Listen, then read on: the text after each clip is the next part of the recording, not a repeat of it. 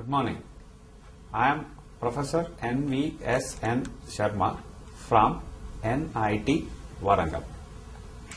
In today's class, we are going to discuss on a separate type of radar which is operational in particular situations. Before that, let us try to recall a standard situation wherein they say that if a dog is staring at you, you should not run around. Why? It is because the dog's eye can identify only moving targets. It cannot detect stationary targets. So, the dog will not be able to do any harm to you if you are stationary. The same principle is being applied for radar systems also, wherein the radar will identify only moving targets. Hence, this radar system is known as Moving Target Indicator MTI. So, in this class, we shall note down the details of this particular system. What are these advantages? What are the limitations? And a similar type of radar which is also used very much known as pulse Doppler radar. And we take the comparison between the two types MTI and pulse Doppler radar. Let's get into the details of this.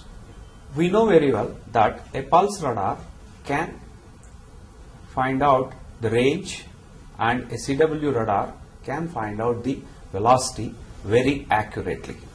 Suppose we want both the details like the range and the velocity. What should be done for a pulse radar or for a CW radar? That is, here we are going to introduce the mixture of these two types of radars to find out both the quantities. But depending on the system specifications, we are going to get definitely one quantity very accurately and the other one in an ambiguous manner. That is the limitation we find in this case. So, a pulse radar is modified from the clue of CW radar to find out the velocity. That is the pulse Doppler radar. Similarly, a CW radar is modified with the concepts of a pulse radar to find out the range that becomes the MTI. So, the MTI and the pulse Doppler radar will have similar blocks in the system. Only the operational wise we will have certain differences. Thereby we get one particular quantity like range very accurately in one case and the velocity very accurately in another case. First, let us try to understand the operation of a pulse Doppler radar. A basic pulse radar cannot determine the velocity. So to measure the velocity, we take the help of this Doppler concept. So here the return signal frequency is used to find the velocity or the change in the frequency is the indication for this. Similarly, the return signal phase shift will be useful to find the range. So a moving target indicator measures the change in the phase of the return signal and it will identify only moving targets. So we need a phase comparator to compare the transmitter signal phase and the return signal phase. You can see in this slide the return signal from a pulse. So pulse 1 return signal will have certain peaks representing stationary targets as well as moving targets. From pulse 2, you can see that the stationary target peak, peaks, sorry, take 2. From pulse 2, you can see the peaks corresponding to the stationary targets appearing at the same location, whereas the peak from the moving target is shifted slightly. Again, when you go to the pulse 3, you can definitely see that there is considerable difference corresponding to the moving target. However, the peaks of the stationary targets remain at the same location. From pulse 4, again, the same type of changes can be observed. Taking all this together, you can go for an average of phase differences from one pulse to the previous pulse. By that, you can observe that there is only one peak at the output corresponding to the moving target. So, here we are going to subtract the return signal from the previous return signal. That means the previously received signal must be stored by one pulse time and then it will be used to subtract from the present value. So the difference clearly indicates a moving target.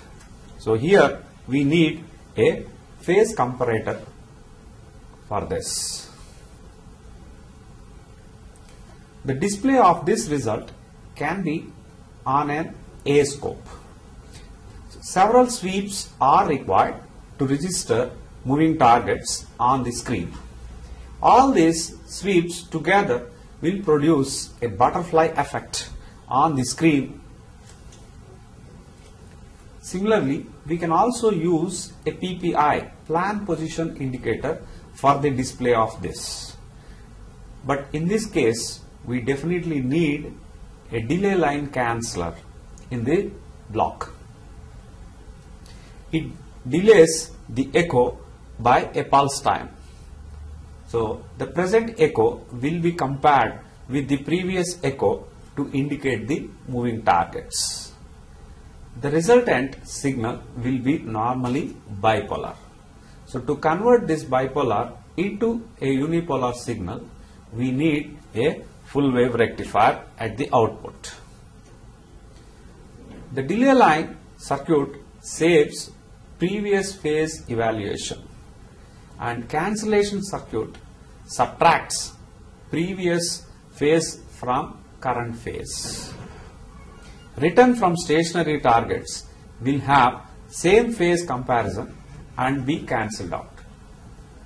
Return from moving targets will have different phase comparison and will be displayed. So thereby delay line is for providing a delay of one pulse time and the canceller part of it is for comparison between the present echo and the previous echo. A simple block diagram of an MTI is shown here. We will have a transmitter to be connected to an antenna. The same antenna will receive the echo and the received signal will be initially processed in the receiver. Then it will be compared with the transmitter signal and the output will be given to a, a scope. The display will be range versus the received signal amplitude. But here there is no specific amplifier and other additional blocks to filter out the unwanted signals efficiently. So for this we go with a power amplifier and the MTI radar with a power amplifier is shown next. Here we are seeing a coherent MTI radar wherein we are going to use two separate oscillators. One is COHO coherent oscillator and the other one is STALO, stable local oscillator. So, a stable oscillator will be giving us the signal FL, which will be mixed with the coherent oscillator output FC and these two will be applied together via a mixer to a power amplifier. The output of this will be pulse modulated and given to the antenna through a duplexer. The same antenna will receive the signal with some phase shift or frequency shift. So the return signal will be FL plus FC plus or minus F Doppler if there is any moving target. So the return signal will be subtracted with the stable local oscillator signal and this FC plus or minus FD will be amplified in an IF amplifier. Then we compare this signal with the FC phase shift sorry take two we compare this output of IF amplifier with coherent oscillator output and we get the FD directly from this. So here we have definitely certain advantages. The power amplifier we are going to use may be a simple triode amplifier or a tetrode amplifier. If it is very high frequency operation then we may go for a klystron or a TWT or with the recent development of cross field amplifiers. The combination of power oscillator and power amplifier makes it to be called as master oscillator power amplifier MOPA operation. Why master oscillator? Because a reference signal cannot be generated by a continuously running oscillator. So this stable local oscillator will be a free running oscillator but we need a reference signal for that hence we go with a coho.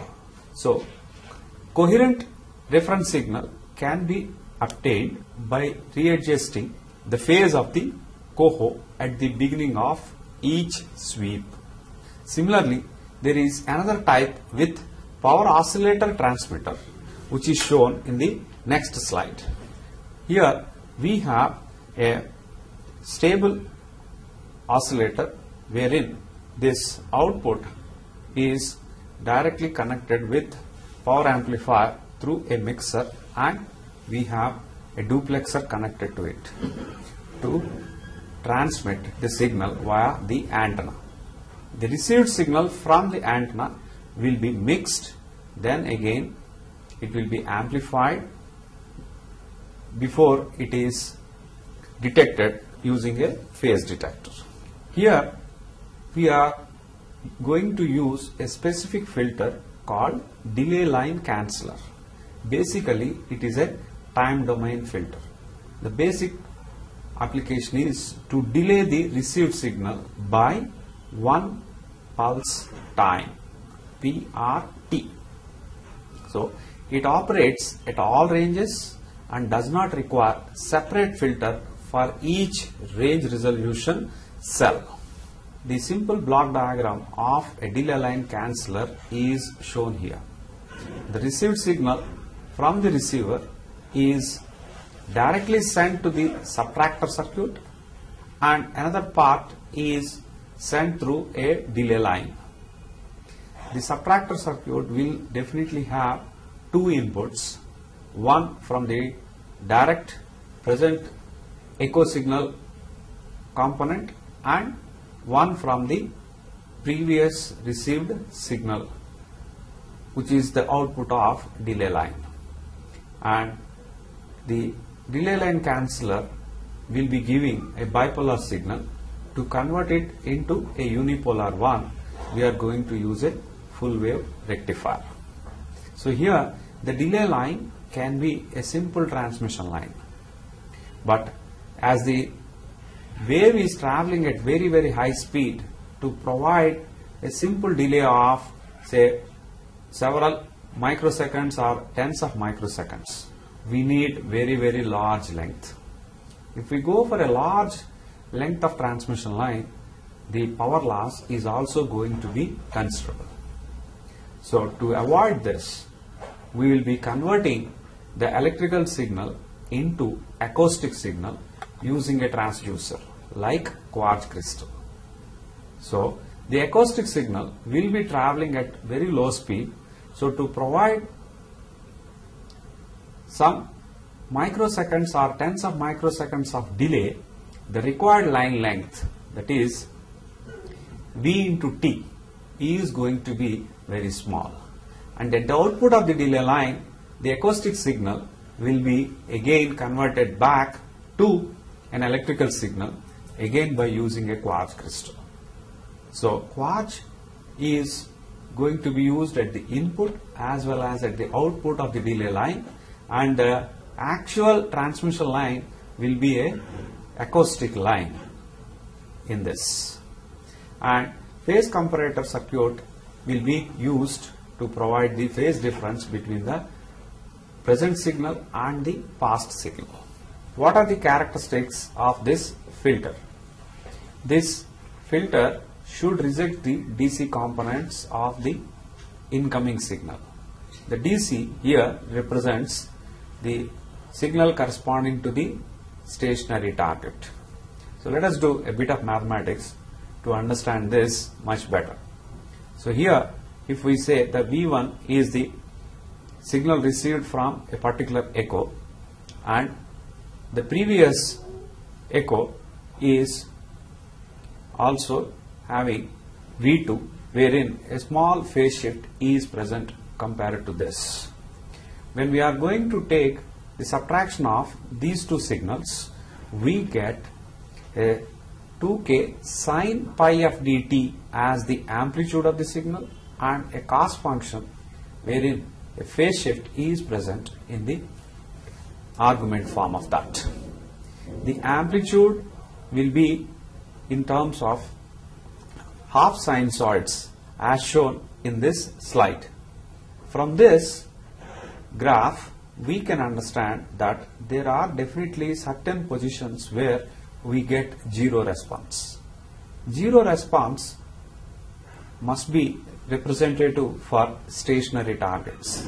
However, due to the sine function involved in the calculation, we get zero response even for certain moving targets. The speed at which these moving targets will be traveling is known as blind speed because the filter takes them as though they are stationary. Why stationary?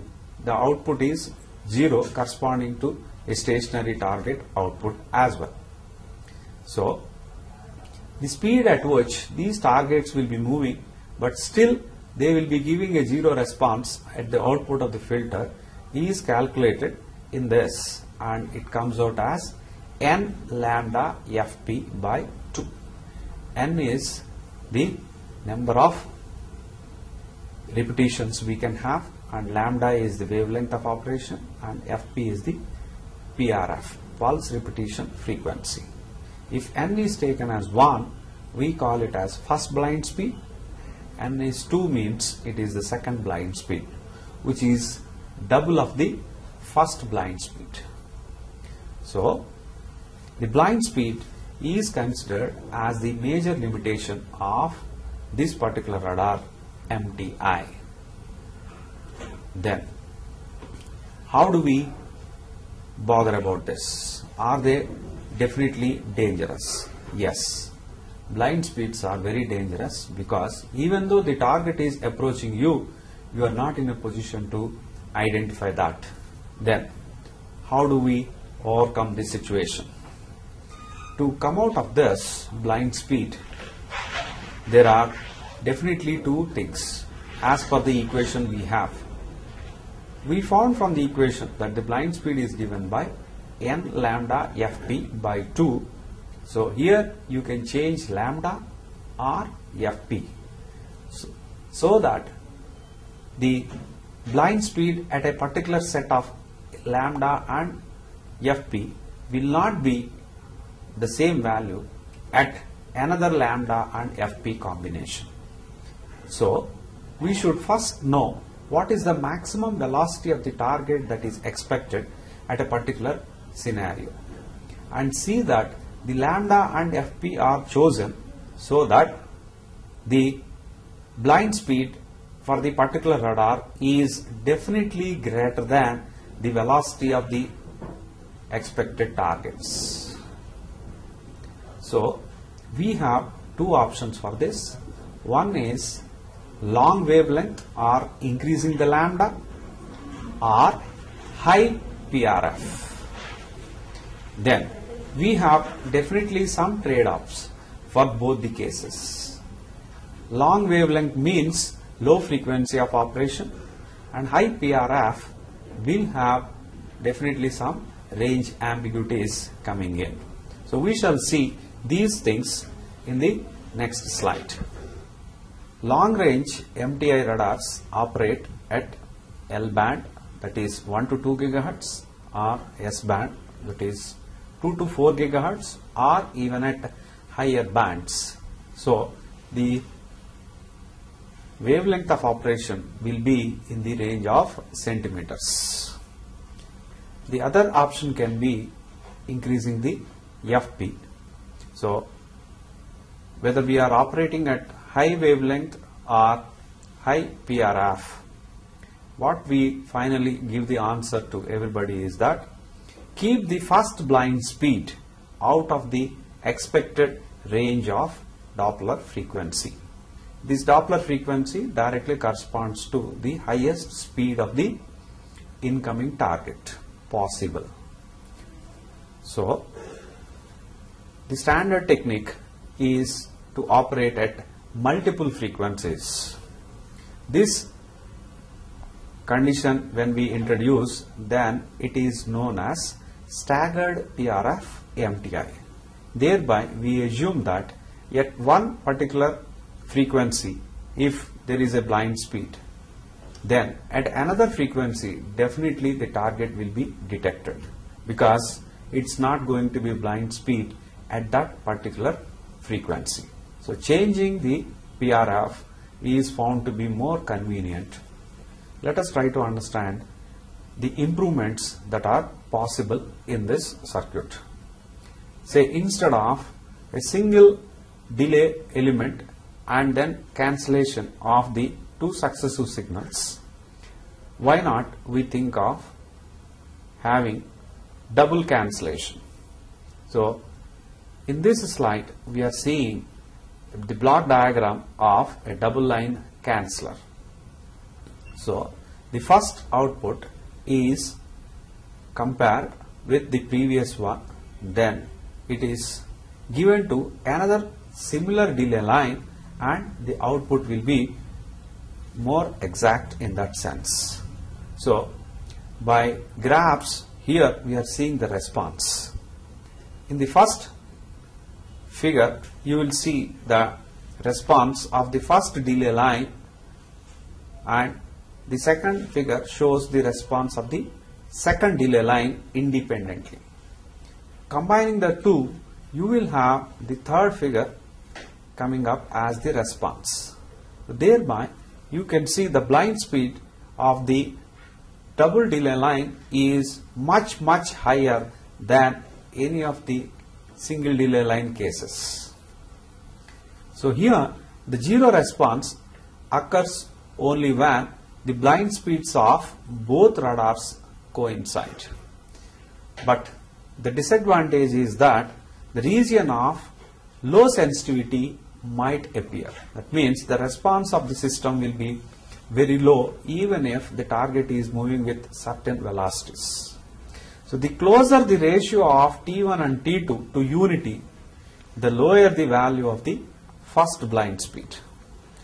But first null in the vicinity of the Doppler frequency equal to 1 by T1 becomes deeper. This is the trade-off between the two cases. Now, let us try to understand the concepts of pulse Doppler radar. The attributes of pulse radar will be mixed with that of CW radar. That means we are going to add a mixer in the pulse radar. The sample of transmitted and received signals are compared in the mixer. The mixer output will be the Doppler shift which represents the velocity of the target. Thereby the name is Pulse Doppler Radar PDR. Doppler is sorted into various velocity categories and the categories will be identified through different colors. A sample is shown in this slide. So, this picture represents that of a standard weather radar. So, here by the different colors you can see whether there is going to be heavy rain or heavy wind or other situations very easily. In this picture, a normal photo image of a hurricane is shown. For the same case, you can see now the pulse Doppler radar output with different colors indicating the pressure, low pressure areas at different zones. The other applications of pulse Doppler radar are for weapon fire control systems. A pulse radar uses normally one antenna. Here you will have high PRF. That means many pulses are being sent.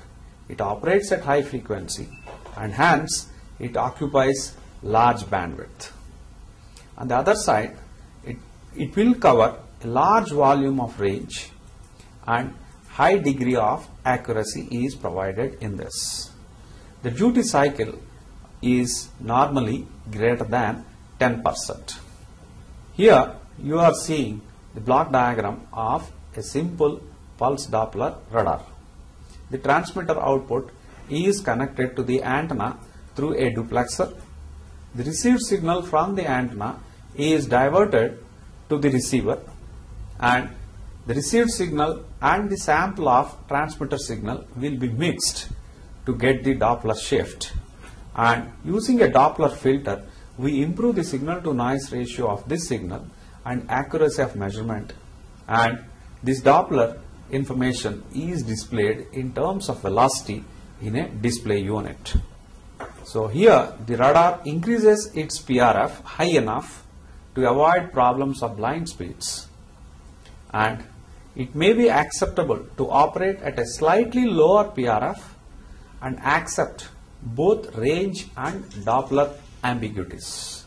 That is more practicable. In such a case, we call that radar as medium PRF pulse Doppler radar. The MTI with no range ambiguities and it will have Doppler ambiguities. The high PRF pulse Doppler radar with, will have the opposite qualities. That means it will have many range ambiguities but no Doppler ambiguities. A compromise between the two cases will be the medium PRF PDR wherein the range as well as velocity ambiguities do exist but the system operation is very simple and easy. If you are considering MTI or PDR, the equipment will be same and there is not much of a difference between the other blocks also. Pulse Doppler radar generally receives much more clutter than an MTI radar and it requires greater improvement factor than a MTI radar of comparable performance. The antenna side lobe clutter is large in a pulse Doppler radar since there are range ambiguous pulses simultaneously illuminating the clutter. With a duty cycle of 50%, the antenna side lobes are simultaneously illuminating half the total clutter within the radar's coverage. The disadvantage is that the large side lobe clutter viewed by a pulse Doppler radar is a reason why it requires a high improvement factor than an MTI of equivalent performance. To detect aircraft targets within the side lobe clutter region, a bank of narrow band Doppler filters with adaptive thresholds can be used. So antenna must have exceptionally low side lobes. The presence of a clutter-free region is an important advantage of high PRF pulse Doppler radar, especially if detecting high-speed closing targets at long range is required. There is a specific loss that may come up in this particular context known as eclipsing loss. The pulse Doppler radar cannot receive when it is transmitting. That is a natural disadvantage because we are going to use one antenna for transmission as well as for reception. So when it is transmitting high duty cycle, it can result in a loss if the echo signal arrives when a pulse is being radiated and the receiver is turned off. This is called as eclipsing loss. The degree of this eclipsing varies as the target range changes with time. So, eclipsing can cause periodic holes in the coverage. A rapidly approaching target will not remain eclipsed for long so that detections will occur at a slightly shorter range when eclipsing is present. Then, how do we take care of this? A reduction of the duty cycle and an increase in the number of range gates will reduce the effect of eclipsing. Now, let us try to understand more details of medium PRF PDR. It has both range and Doppler ambiguities. It results in less clutter being seen by the antenna's side lobes than the high PRF radar since there are fewer pulse viewing ambiguous range cells. But there is no clutter free region. If it is a high PRF, no ambiguities in Doppler frequency, no blind spots, but many range ambiguities. And the range ambiguities can be resolved by transmitting three redundant waveforms, each at different PRF. Transmitter leakage and altitude return are removed by filtering. Main beam clutter is removed by a tunable filter. High closing speed aircrafts are detected at long range in the clutter-free region. There is poor detection of low radial speed targets that are masked in the frequency domain by short range side lobe clutter folded over in the range. Often a single range gate is employed but with a large Doppler filter bank. For comparable performance, a much larger improvement factor is required than lower PRF systems since high PRF results in more clutter being viewed by the antenna side lobes. What precaution must be taken? The here the precaution must be the antenna side lobes must be quite low in order to minimize this uh, side lobe clutter. Range accuracy and the ability to resolve multiple targets in the range are poorer than other radars. Medium PRF has both range and Doppler ambiguities, but still there is no clutter-free region. So detection of high-speed targets will not be as good as with the high PRF systems. But fewer range ambiguities mean that there will be less clutter seen in the antenna side lobes so that targets with low relative speeds will be detected at long range than with a high PRF system. This is found to be much more advantageous compared to the other things. The trade-off of detectability of high-speed targets for better detection of lower speed targets often makes the medium PRF system preferred over high PRF systems for airborne fighters or interceptor radar applications if only a single system is to be used. The altitude return can be eliminated by range gating. So more range gates are required than in the high PRF system. But the number of Doppler filters at each range gate is less. So 7 or 8 different PRFs must be used to ensure that a target will have the proper Doppler frequency to be detected on at least 3 PRFs in order to resolve range ambiguities. For comparable performance, the large number of redundant waveforms means that the transmitter must be so complex or larger in size. Better range accuracy and range resolution are available than with high PRF systems. The antenna must also have low side lobes to reduce the side lobe clutter. Now, let us see the low PRF systems which are normally used on airborne MTI. Here, there will not be any range ambiguities, but many Doppler ambiguities or we can say several blind speeds do exist. So, normally it requires specific systems like TACCAR and DPCA to remove the effects of moving platform. What is this TACCAR? T-A-C-C-A-R. Time averaged compensation for clutter Doppler shift. DPCA means displaced phase center and. So here the low PRF system operates with the clutter free at long range where no clutter is seen due to the curvature of earth. Side lobe clutter is usually not as important as it is in pulse Doppler systems. So it is best employed at UHF or even at L band.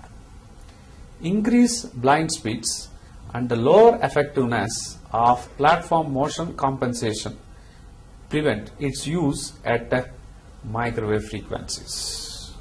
The lower RF of airborne MTI radar results in wider antenna beam width than a higher frequency pulse Doppler radar whose mission is wide area air surveillance. Because there are no range ambiguities to be resolved, redundant waveforms with multiple PRFs are not needed. For comparable performance, the required and product of average power and antenna aperture that is EIRP is less than that for pulse Doppler radars. Usually simpler than pulse Doppler radar. Cost is generally much less than pulse Doppler radar of comparable performance.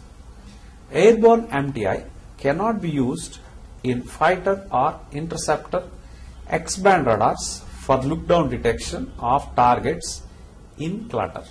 With all this information, we can have a comparison between PDR, that is pulse Doppler radar, and MTI, moving target indicator. In the case of PDR, the FR is estimated accurately. It uses high PRF to avoid blind speeds. But the disadvantage point will be time around echoes do exist and it requires power amplifier with high duty cycle and it will be using range gates to reduce the range ambiguities. On the other hand, an MTI will have range estimated accurately. It operates with low PRF, so no time around echoes, but there will be blind speeds. So we need to have a delay line canceller if you want to go with a PPI type of indicators. When the PRF is so high that the number of range ambiguities is too large to be easily resolved, the performance of PDR approaches that of CW radar.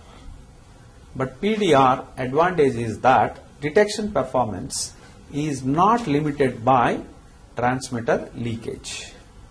Now, let us see what are the limitations of MTI and how do we characterize them. That what parameters we use to compare the performance of different types of MTIs or PDRs. So here the first one we are going to take up is MTI improvement factor. Here how much improvement in the signal is present after going for the processing in the MTI. So we have signal to clutter ratio at the output to signal to clutter ratio at the input as MTI improvement factor. But this is averaged over radial velocities of all targets. Then we have subclutter visibility. That means within the clutter how much amount of signal is required to be able to detect this.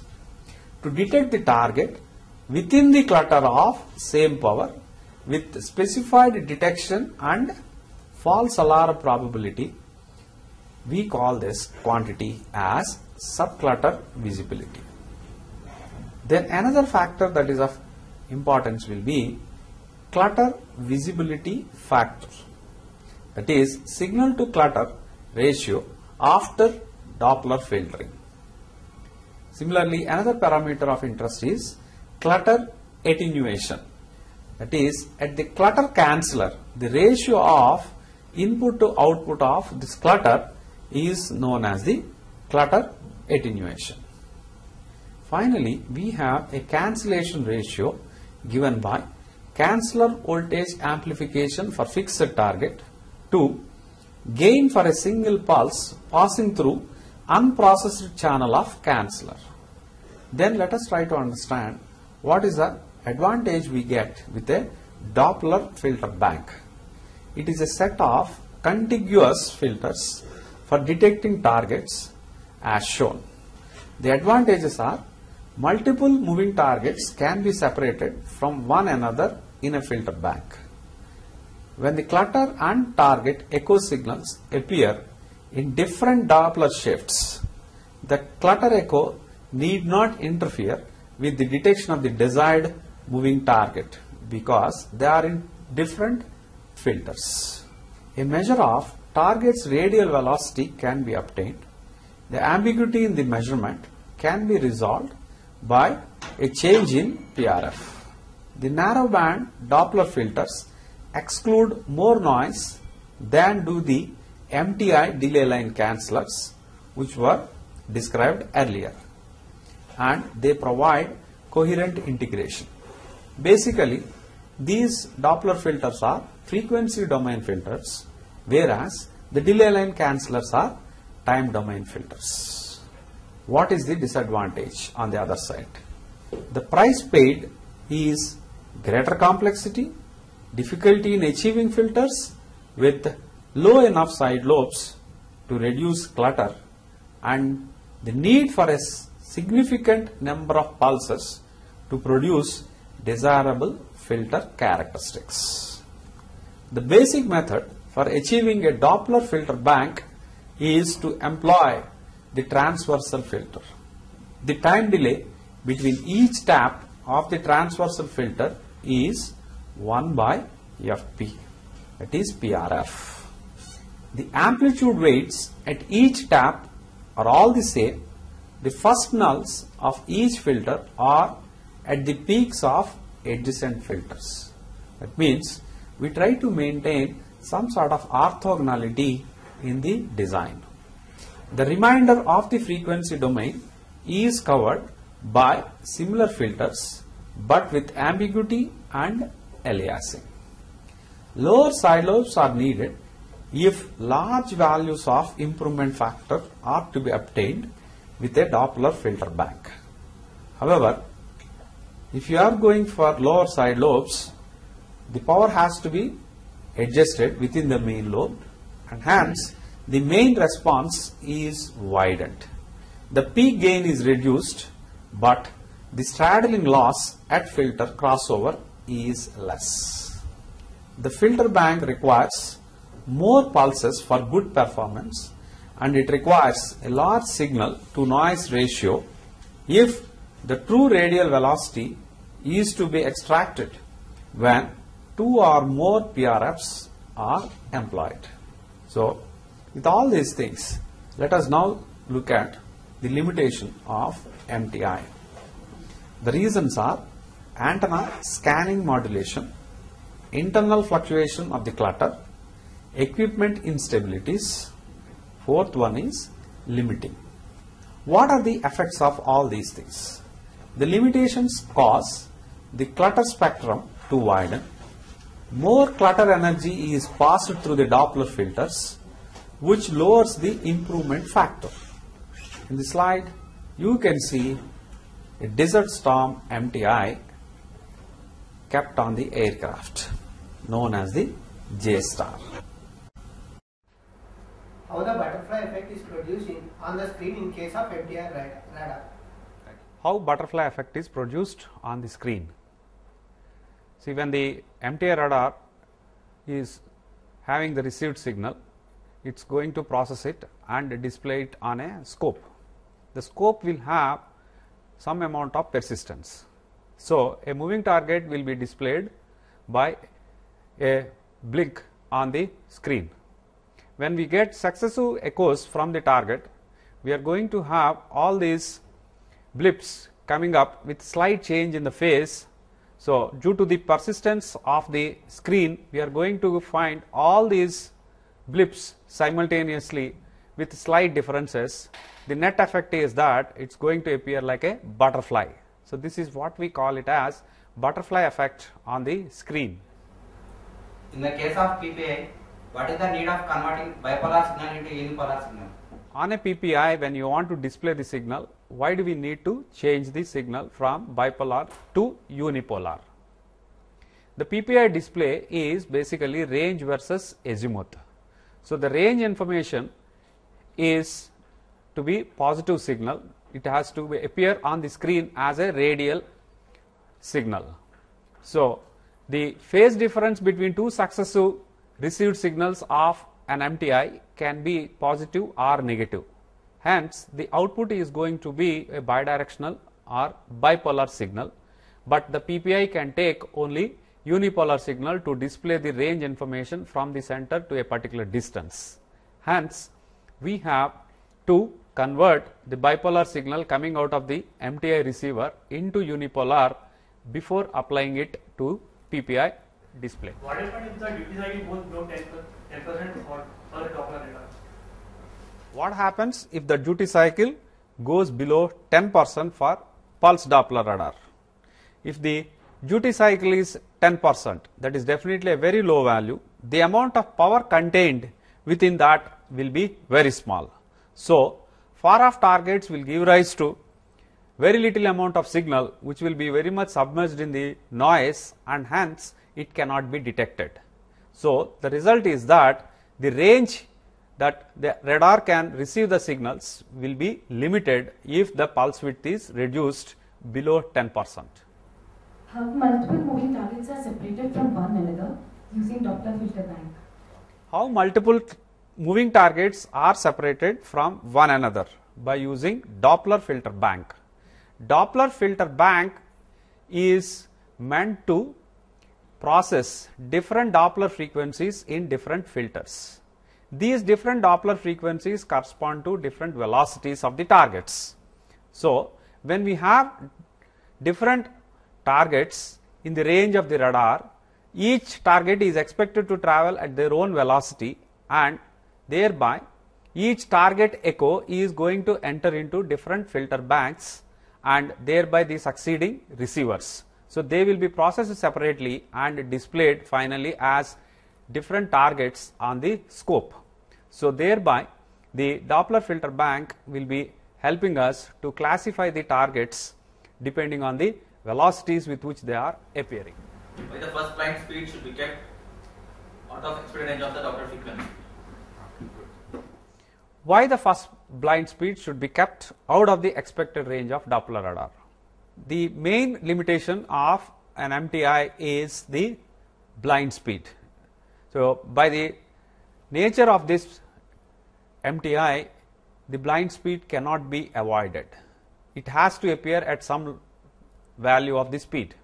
So, we try to choose the characteristics of the delay line canceller in such a way that the blind speed that is going to come is definitely out of the range of the expected targets of a particular location.